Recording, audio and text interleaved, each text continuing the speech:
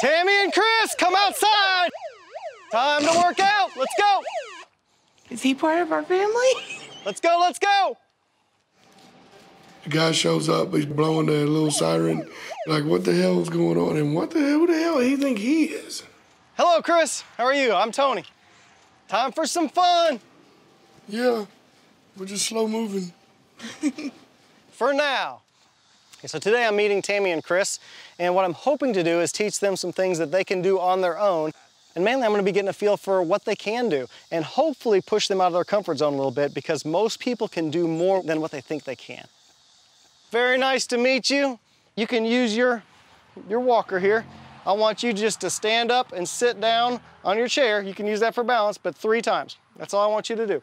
I want you to do just a body weight squat. So you don't have to squat down really low, but I want you to put your feet a little bit wider than your shoulders and just bend your knees a little bit till you feel a good seated position. And then when you feel like you're starting about as low as you can go, stand back up. And so just a smooth, controlled movement. So just three times up and down.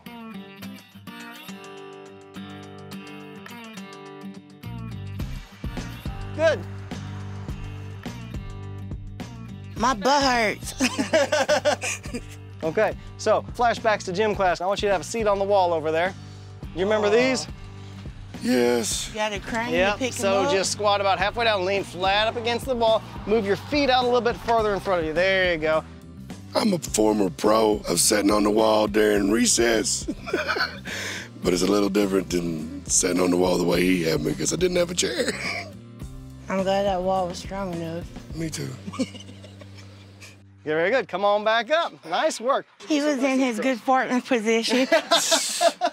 that right there will make a man out of you. You sit there very long. now we're gonna do a very simple bicep curl next. Yep, just back and forth. Very good.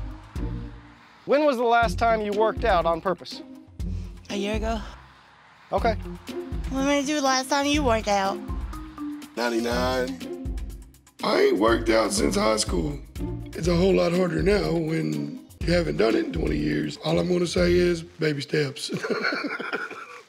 so what's really important, if you're working with me, we work when we can work, we rest when we have to rest, okay? Well, Dr. Smith gave me a 15 pound weight goal.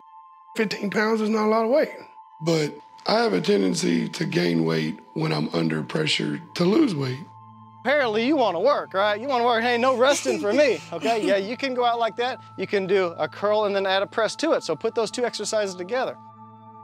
How do you feel seeing him try hard? Kind of, it's kind of like shock and awe.